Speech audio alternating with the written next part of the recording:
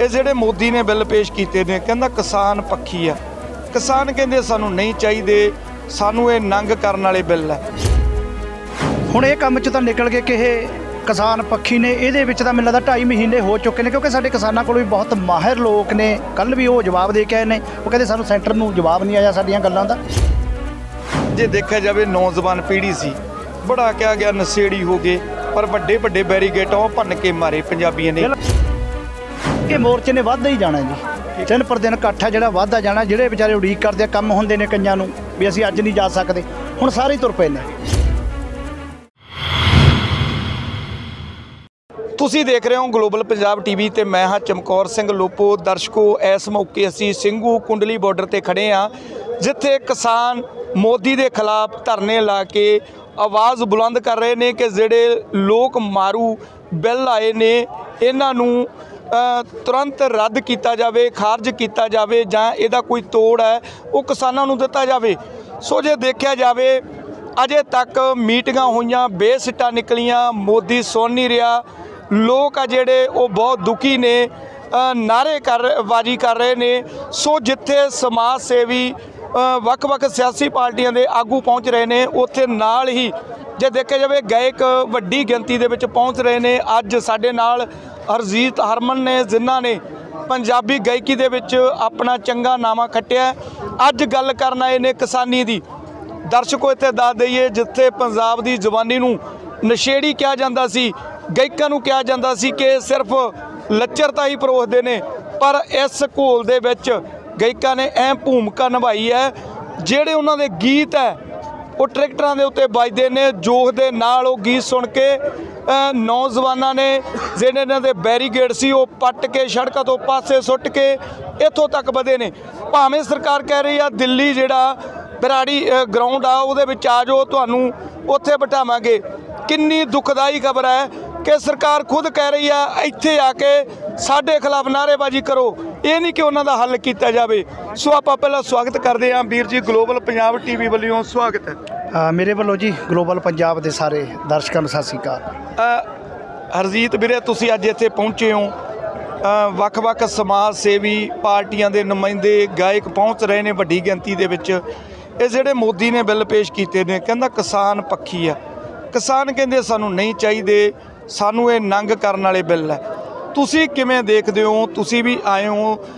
ਵੱਡੀ ਗਿਣਤੀ ਤੁਹਾਡੇ ਨਾਲ ਨੌਜਵਾਨ ਪੀੜ੍ਹੀ ਜੁੜੀ ਹੋਈ, ਕਿਵੇਂ ਦੇਖਦੇ ਹੋ ਤੁਸੀਂ? ਹੁਣ ਇਹ ਕੰਮ 'ਚ ਤਾਂ ਨਿਕਲ ਗਏ ਕਿ ਇਹ ਕਿਸਾਨ ਪੱਖੀ ਨੇ ਇਹਦੇ ਵਿੱਚ ਤਾਂ ਮੈਨੂੰ ਲੱਗਦਾ 2.5 ਮਹੀਨੇ ਹੋ ਚੁੱਕੇ ਨੇ ਕਿਉਂਕਿ ਸਾਡੇ ਕਿਸਾਨਾਂ ਕੋਲ ਵੀ ਬਹੁਤ ਮਾਹਿਰ ਲੋਕ ਨੇ। ਕੱਲ ਵੀ ਉਹ ਜਵਾਬ ਦੇ ਕੇ ਆਏ ਨੇ। ਉਹ ਕਹਿੰਦੇ ਸਾਨੂੰ ਸੈਂਟਰ ਨੂੰ ਜਵਾਬ ਨਹੀਂ ਆਇਆ ਸਾਡੀਆਂ ਗੱਲਾਂ ਦਾ। ਉਹਨਾਂ ਨੇ ਸੋਚਿਆ ਕਿਤੇ ਅਨਪੜ੍ਹਾਂ ਨਾਲ ਟੱਕਰ ਪੈ ਗਈ ਤੇ ਬਹੁਤ ਮਹਾਨ ਕੌਮ ਹੈ ਪੰਜਾਬੀ। ਪੜ੍ਹੇ ਲਿਖੇ ਲੋਕ ਨੇ ਵਿਦਵਾਨ ਲੋਕ ਨੇ ਇਹਦੇ ਵਿੱਚ। ਤੇ ਹੁਣ ਮਸਲਾ ਤਾਂ ਇਹ ਹੈ ਕਿ ਬਿੱਲ ਰੱਦ ਕਿਵੇਂ ਕਰਾਉਣੇ ਨੇ? ਇਹ ਮੋਰਚਾ 'ਚ ਸ਼ੰਭੂ ਸਿੰਭੂ ਨਹੀਂ ਦੋ ਦੋ ਬਾਰਡਰਾਂ ਤੇ ਖਨੌਰੀ ਵਾਲਾ ਦੂਜਾ ਟਿਕਰੀ ਬਾਰਡਰ ਦੇ ਉੱਤੇ ਕਿਸਾਨ ਡਟੇ ਹੋਏ ਨੇ ਤੇ ਅਸੀਂ ਕਿਸਾਨਾਂ ਦੇ ਨਾਲ ਆ ਜੇ ਦੇਖਿਆ ਜਾਵੇ ਨੌਜਵਾਨ ਪੀੜ੍ਹੀ ਸੀ। ਬੜਾ ਕਿਹਾ ਗਿਆ ਨਸ਼ੇੜੀ ਹੋ ਗਏ ਪਰ ਵੱਡੇ ਵੱਡੇ ਬੈਰੀਗੇਟ ਉਹ ਭੰਨ ਕੇ ਮਾਰੇ ਪੰਜਾਬੀਆਂ ਨੇ। ਕਿਵੇਂ ਦੇਖਦੇ ਹੋ? ਕਿਤੇ ਕਿਤੇ ਸਾਨੂੰ ਵੀ ਲੱਗਣ ਲੱਗ ਗਿਆ ਸੀ। ਨੈਗੇਟਿਵ ਨੈਗੇਟਿਵਿਟੀ ਹੈ ਜਿਹੜੀ ਸੋਸ਼ਲ ਮੀਡੀਆ ਤੇ ਜ਼ਿਆਦਾ ਪ੍ਰਮੋਟ ਹੁੰਦੀ ਹੈ। ਕਿਸੇ ਨੂੰ ਗਾਲ ਕੱਢਦੇ ਹੋ ਛੇਤੀ ਪ੍ਰਮੋਟ ਹੁੰਦਾ ਹੈ। ਕੋਈ ਨਸ਼ਾ ਕਰਦਾ, ਛੇਤੀ ਪ੍ਰਮੋਟ ਹੁੰਦਾ। ਜਿਹੜੇ ਪੋਜ਼ਿਟਿਵ ਪੱਖ ਨੇ, ਉਹ ਪ੍ਰਮੋਟ ਨਹੀਂ ਹੋਏ। ਸਾਨੂੰ ਵੀ ਲੱਗਣ ਲੱਗਾ ਸੀ ਪੰਜਾਬ ਕਿਤੇ ਨਸ਼ੇ ਦੀ ਦਲਦਲ ਦੇ ਵਿੱਚ ਤਾਂ ਨਹੀਂ ਧੁੱਸਦਾ ਜਾ ਰਿਹਾ। ਪਰ ਸਾਡੇ ਨੌਜਵਾਨਾਂ ਨੇ, ਸਾਡੇ ਬਜ਼ੁਰਗਾਂ ਨੇ ਇਸ ਮੋਰਚੇ ਦੇ ਜ਼ਰੀਏ ਸਾਬਤ ਕਰਤਾ ਕਿ ਅਸੀਂ ਅੱਜ ਵੀ ਉਹੀ ਪੰਜਾਬੀਆਂ ਜਿਨ੍ਹਾਂ ਦੀ ਉਦਾਹਰਨ ਦੁਨੀਆ ਦੇ ਵਿੱਚ ਦਿੱਤੀ ਜਾਂਦੀ ਸੀ। ਹਰਮਨ, ਤੁਹਾਡੇ ਵਧੀਆ ਗੀਤ ਹੁੰਦੇ ਆ, ਜਿਹੜੇ ਚੰਗੇ ਉਹਨਾਂ ਨੂੰ ਸਪੋਰਟ ਵੀ ਕਰਨੀ ਚਾਹੀਦੀ। ਜਿਹੜੇ ਹੁਣ ਕਿਸਾਨੀ ਦੇ ਉੱਤੇ ਗੀਤ ਗਾਏ ਆ ਕਿ ਤੁਹਾਨੂੰ ਲੱਗਦਾ ਨਹੀਂ ਕੁਝ ਸਮਾਂ ਪਹਿਲਾਂ ਤੋਂ ਹੀ ਇਹ ਸ਼ੁਰੂ ਹੋ ਜਾਣੇ ਚਾਹੀਦੇ ਸੀ? ਪਹਿਲਾਂ ਬਾਹਲੇ ਹਥਿਆਰਾਂ ਵਾਲੇ ਗੀਤ ਜਾਂ ਨਸ਼ਿਆਂ ਨੂੰ ਪ੍ਰਮੋਟ ਕਰਨ ਵਾਲੇ ਗਏ ਗਏ ਇਹ ਸੱਚਾਈ ਹੈ ਉਦੋਂ ਇਹ ਹਾਲਾਤ ਨਹੀਂ ਸੀ ਬਣੇ। ਚਲੋ ਕਹੂੰਗਾ ਕਿ ਦੇਰ ਆਇਆ ਦੁਰਸਤ ਆਇਆ। ਹਾਂਜੀ ਬਿਲਕੁਲ। ਬਹੁਤ ਕਿਸਾਨੀ ਨਾਲ। ਹੁਣ ਤਾਂ ਡੀਜੇ ਦੇ ਉੱਤੇ ਕਿਸੇ ਨੇ ਵਿਆਹ ਰੱਖਿਆ ਹੁੰਦਾ ਕਿਉਂਕਿ ਪ੍ਰੋਗਰਾਮ ਵੀ ਕਰਨੇ ਜ਼ਰੂਰੀ ਨੇ। ਸਾਡੀ ਕੌਮ ਦਾ ਹਿੱਸਾ ਹੈ। ਉਹ ਵੀ ਕਰਦੇ ਜਾਓ ਤੇ ਸੰਘਰਸ਼ ਵੀ ਲੜਦੇ ਜਾਓ।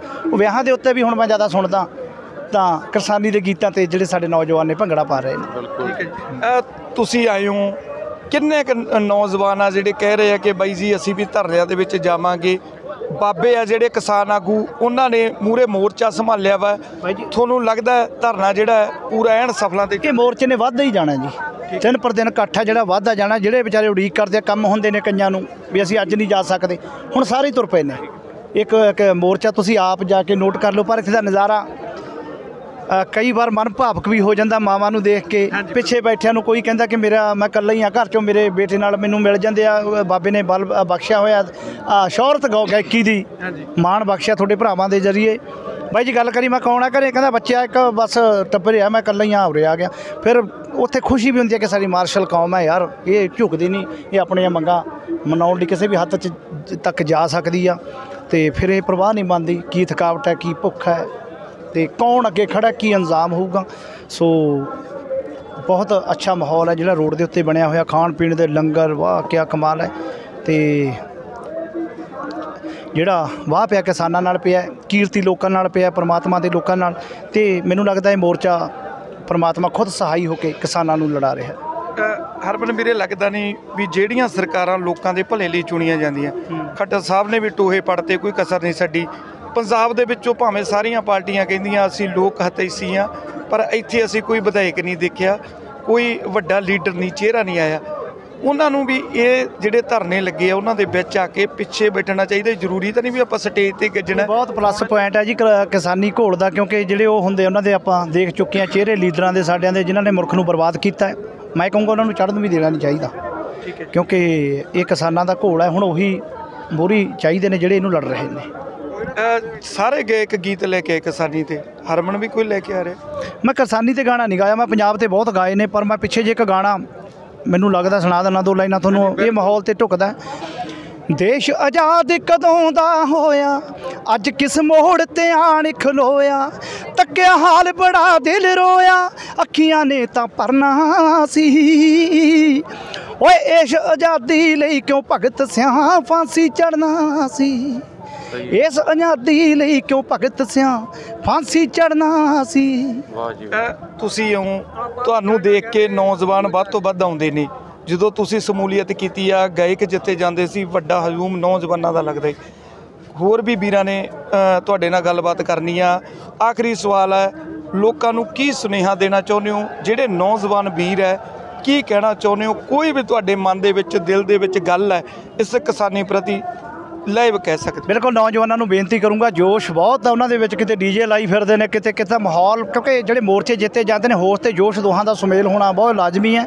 ਤੁਹਾਡੇ ਆਗੂਆਂ ਦੀ ਅ, ਜੋ ਰਹਿਨਮਾਈ ਹੇਠ ਤੁਸੀਂ ਚੱਲਦੇ ਰਹੋਗੇ ਤੇ ਜਥੇਬੰਦਕ ਹੋ ਕੇ ਇਹਨਾਂ ਮੋਰਚਿਆਂ ਨੂੰ ਜਿੱਤੋ ਅਲਰਟ ਰਹੋ ਕਿ ਤੁਹਾਡੇ ਨਾਲ ਕੌਣ ਕਿਹੋ ਜੀਆਂ ਚਾਲਾਂ ਚੱਲ ਰਿਹਾ। ਕਈ ਵਾਰ ਬੰਦੇ ਵੀ ਛੱਡੇ ਗਏ ਨੇ ਇੱਥੇ ਕੁਝ ਵੀ ਗਲਤ ਹਰਕਤਾਂ ਹੋਣ ਤੇ ਮੋਰਚੇ ਨੂੰ ਢਾਹ ਲੱਗੀ।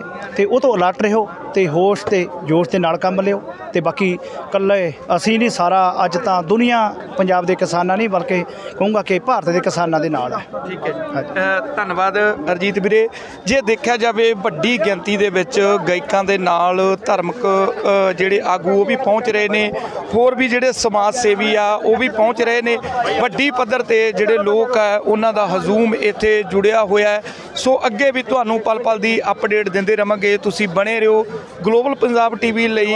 ਕੈਮਰਾਮੈਨ ਕੋਮਲਪ੍ਰੀਤ ਦੇ ਨਾਲ ਚਮਕੌਰ ਲੋਪੋ, ਸਿੰਘੂ ਬਾਰਡਰ ਦਿੱਲੀ। ਤੁਸੀਂ ਹੈਰਾਨ ਤੇ ਜ਼ਰੂਰ ਹੋ ਰਹੇ ਹੋ ਕਿ ਇੱਕ ਬੰਦਾ ਪੈਂਟ ਕਮੀਜ਼ ਪਾ ਕੇ ਟਰੈਕਟਰ ਚਲਾ ਰਿਹਾ ਹੈ ਖੇਤੀ ਕਰ ਰਿਹਾ ਹੈ। ਜੀ ਹਾਂ ਦੁਨੀਆ ਬੜੀ ਤੇਜ਼ ਰਫ਼ਤਾਰ ਨਾਲ ਬਦਲ ਰਹੀ ਹੈ। ਤਾਂ ਫਿਰ ਸਾਡੀ ਖੇਤੀ ਕਿਉਂ ਨਾ ਬਦਲੇ? ਖੇਤੀ ਨੂੰ ਲਾਹੇਵੰਦ ਬਣਾਉਣ ਲਈ ਬਹੁਤ ਜ਼ਰੂਰੀ ਹੈ ਆਧੁਨਿਕ ਜਾਣਕਾਰੀ ਅਤੇ ਤਕਨੀਕ ਨਾਲ ਜੁੜਨਾ।